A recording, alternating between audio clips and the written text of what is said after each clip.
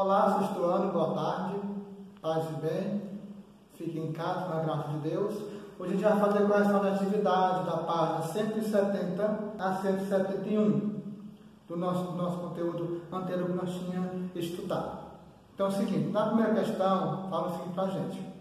O período arcaico grego foi marcado por uma, por uma fase de transição política muito importante. Faça uma análise do surgimento das cidades-estado.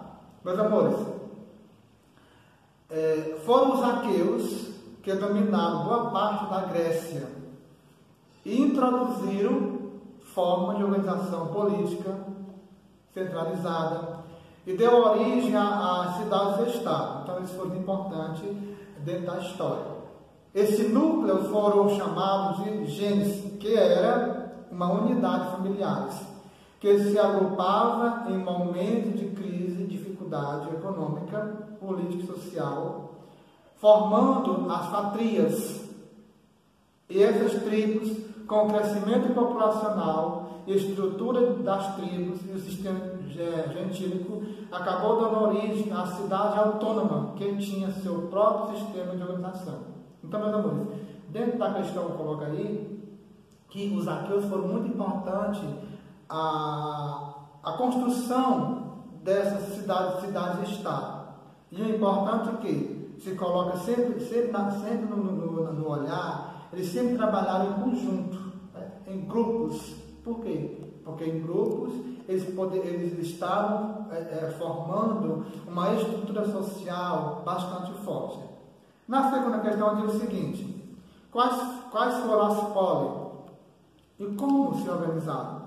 Então, a Cipoli era a cidade-estado, com, com autonomia da administração, leis, costumes próprios, também uma estrutura bem definida e possuía, possuía a Acrópolis, o local mais alto da sociedade, onde houve um templo eh, religioso geralmente atribuído ao Deus. Em outras palavras, a Acrópolis onde eram as práticas religiosas na polis. Havia também a, Ágora, praça principal, em que se reuniam as cidades da polis para discutir em assembleia os rumos e o destino político da economia e do militarismo. Então, só observar aí que as cidades e estados elas, a maioria delas eram autônomas, quer dizer, cada uma tinha sua própria administração e cada uma fazia as coisas acontecer. Claro, obedecendo os costumes e as tradições que tinha na localidade. Na terceira questão, diz o seguinte: surgiu a aristocracia social, dando dono da maior da maioria das terras cultivado na Grécia antiga. Então, a aristocracia social da Grécia se deu, se deu em função da valorização de terras e do crescimento e o fortalecimento da produção agrícola. Então, a agricultura ela foi o eixo central da aristocracia social. Porque assim, porque desde o princípio, né, remotamente, a agricultura, a agricultura ela é um berço de sustentação das grandes e pequenas civilizações, comunidades e aldeias. Quando a gente é, é, fala em aristocracia, a questão da agricultura foi o berço de toda e qualquer civilização. Mas com o decorrer do processo né, de construção, também surgiu outros meios de, de, de, trabalhar, que seria a questão do comércio marítimo, né, e a, a, a partir daí começa a surgir o território privado de pessoas que tinham muita terra no caso da e que ela vai chegar ao seu, ao seu, ao seu apogeu. Né? Então, a quarta questão. O conceito de tirania ao, ao longo da humanidade de, é, teve vários, vários sentidos. Na maioria das vezes significa opressão dos, dos governantes contra, contra seu povo. Mas o que foi a tirania na sociedade grega? Diante da instabilidade social grega em função é, de aristocracia, é, conduz-se e administrar. Então a sociedade explora, era explorada, seu povo, vários conflitos surgiram.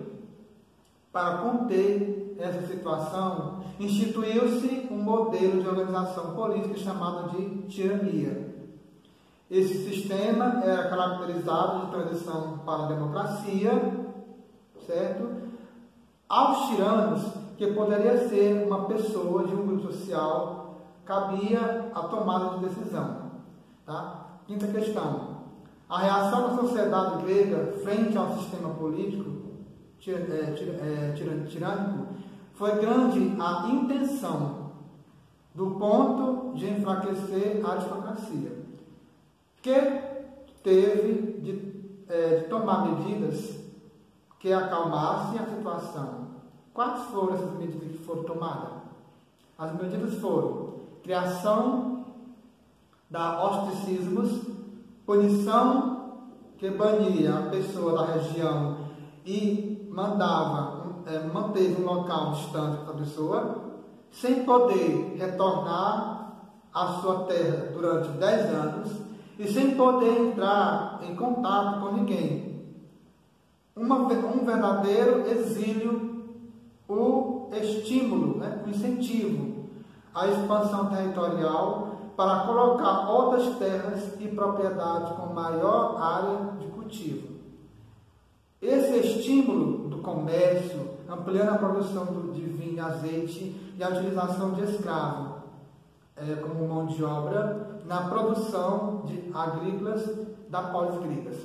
Então, gente, as pessoas que eram, que eram tirando, é, com o decorrer do, do, dos acontecimentos, eles foram banidos, da cidade, do lugar é, fora, e automaticamente as pessoas iriam trabalhar dentro da agricultura para aumentar a produção naquele momento. Meus amores, obrigado, boa tarde, até o próximo encontro.